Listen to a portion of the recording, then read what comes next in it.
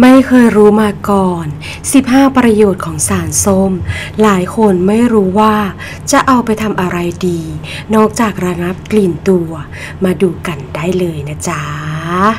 เคล็ดลับประจำบ้านกับสารส้ม สารส้มเหลือเยอะเอาไปทำอะไรดี คุณสมบัติของสารส้ม 1. ไม่มีสีและกลิ่น เหมาะสำหรับผู้ชอบใช้น้ำหอม เพราะจะไม่มีกลิ่นไปรบกวน หรือหักล้างกลิ่นน้ำหอมที่ใช้ 2. ไม่เปื้อนเสื้อผ้า เพราะไม่มีส่วนผสมของครีมและน้ำมัน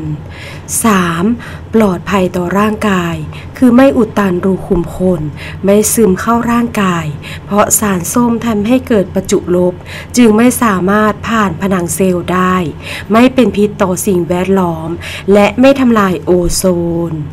4. ไม่เสื่อมสภาพ มีความคงทนต่อสภาพแวดล้อม จึงไม่เสื่อมสภาวะที่อุณหภูมิห้องนะคะ ประโยชน์ของสารส้ม 1. ระงับกลิ่นตัวกวนสารส้มในน้ำ ใช้ผ้าชุบน้ำเช็ดตัว จะดับกลิ่นตัวได้ สามารถระงับกลิ่นได้ 100%นานถึง 24 ชั่วโมง และหน่วงการเกิดกลิ่นได้ไม่ต่ำกว่า 10 ชั่วโมงนะจ๊ะ 2. ชายห้ามเลือด ป่นสารส้มให้ละเอียด หรือละลายน้ำใส่แผล จะรู้สึกแสบนิดหน่อย แต่ห้ามเลือดได้ชะงักนักนะคะ 3. ชุบไส้ตะเกียงทำให้ไม่มีควัน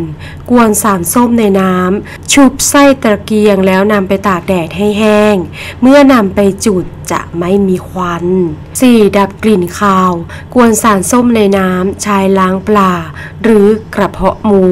5. รักษาถั่วงอก กวนสารส้มในน้ำนำถั่วงอกลงแช่ จะเก็บถั่วงอกไว้ได้นานและกรอบด้วย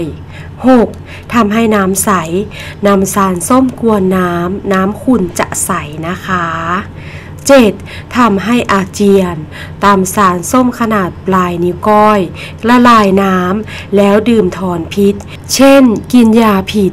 กินเห็ดเมา หรือกินกรดหรือด่างเข้าไป 8. กันบูด ใช้สารส้มปนแป้งเปียกกันบูดได้นะคะ 9. ใช้ในอุตสาหกรรมกระดาษ ย้อมสีผ้าทำให้สีติดเส้นใยได้ดีขึ้น 10. ทำให้อาหารกรอบ นิยมใช้กับการดองผัก เพื่อให้ผักดองมีความกรอบ 11. ช่วยให้พริกขี้หนูดูสดใส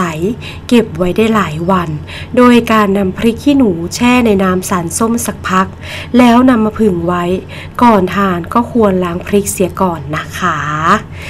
12. ช่วยให้ข้าวเหนียวมีเมล็ดสวย โดยใช้สารส้ม แกว่งในน้ำแช่ข้าวเหนียว แล้วแช่ไว้สักครู่เปลี่ยนน้ำแช่ใหม่ เวลานึ่งแล้ว ข้าวจะมีเมล็ดสวยนั่นเอง 13. ใช้หลังการโกนหนวด จะไม่ทำให้เกิดอาการระคายเคือง ช่วยห้ามเลือด และสมานบาดแผลที่เกิดจากมีดโกนบาด หรือบาดแผลเล็กน้อย 4. ใช้ทาส้นเท้าจะรักษาและป้องกันส้นเท้าแตกได้นะคะ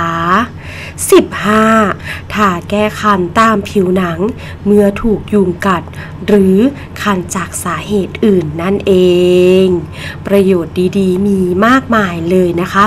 สำหรับสารส้มไปหาซื้อหามาใช้กันได้นะคะ สุดท้ายนี้อย่าลืมกดไลค์กดแชร์ กดติดตาม เป็นกำลังใจให้พวกเราที่ทีมงานช่อง KK Channel ด้วยนะคะ